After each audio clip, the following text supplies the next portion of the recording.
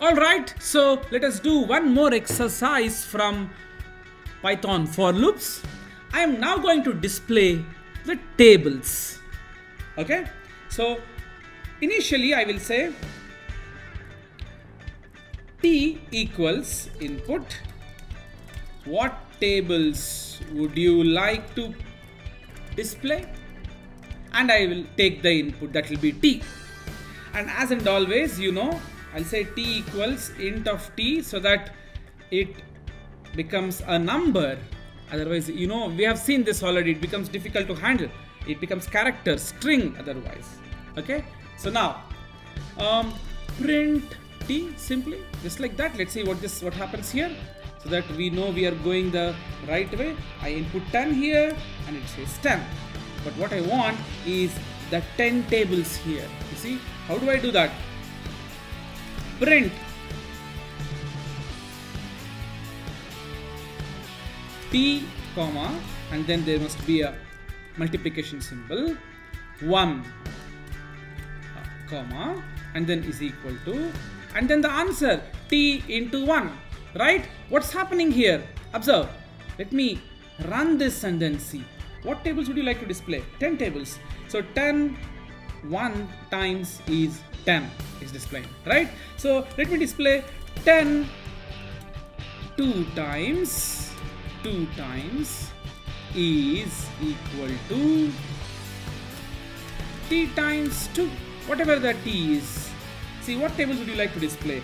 10 so 10 ones are 10 10 twos are 20 so again let me run instead of 10 if I type 8 it will display 8 ones are 8 8 twos are 16 correct? So let me go up to some let's say one more. Um, so how do I do that? Print let me go up to 3 x 3 comma equals comma t times 3 execute this. This time let me display 10 itself 10 ones are 10 10 twos are 20 10 threes are 30 remember your tables right? I now want this to be displayed 10 times. As you know for that i may have to use a for loop. Okay for. So let's see how i'm going to use it okay?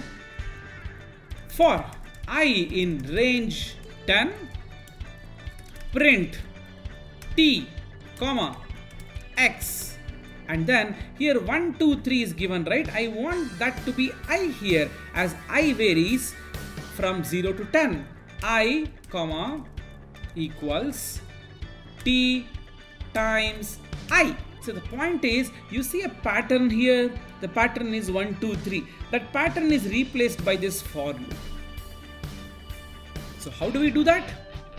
We do that by replacing this pattern by a for loop here. Okay? All right so let me now remove these things. Okay so let's see what happens. I run the file. It is showing me some error. That's because i haven't put a comma here. Let me put a comma here. Okay again run. What tables would you like to display? 10 tables.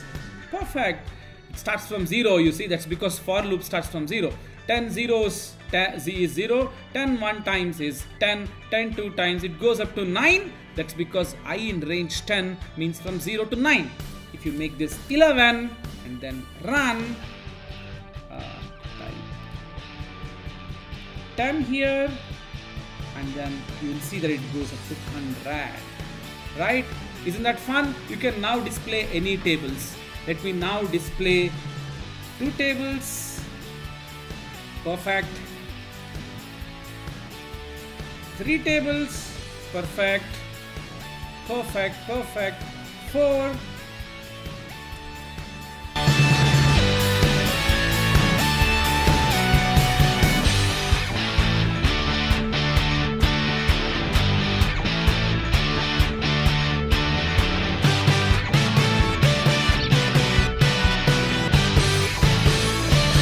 perfect that was all tables from 2 to 10 right so this is the power of programming where you need not necessarily display tables from 1 to 10 rather 0 to 10 you can go on up to any number you want by specifying it here.